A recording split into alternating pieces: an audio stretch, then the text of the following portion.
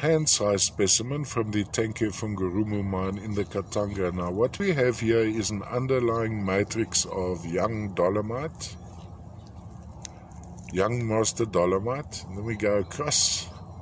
And then sitting on that would be a very thin layer of cobaltoan calcite as an initial layer.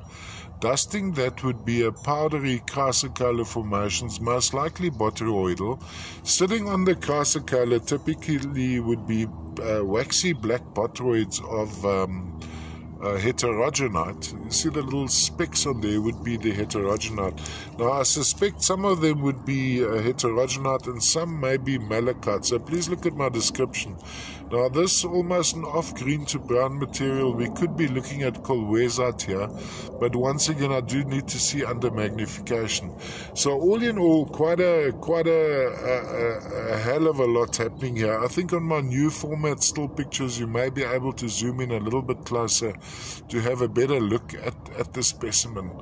Uh, pretty much almost perfect on the on the whole face over here. So from a display point of view, looking from the top down, you'd have this effect, and also a little bit of a, a color contrast on the the the chrysocolla and the dusting of druzy quartz, of course, over some of the sections.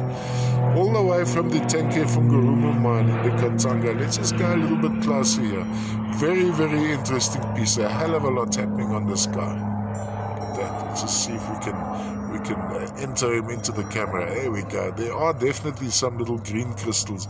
Could be a, a, a whole variety of different minerals, from paramelanconite to uh, uh, uh, perhaps some gerhardite. Uh, I'm going to say malachite for the sake of ease.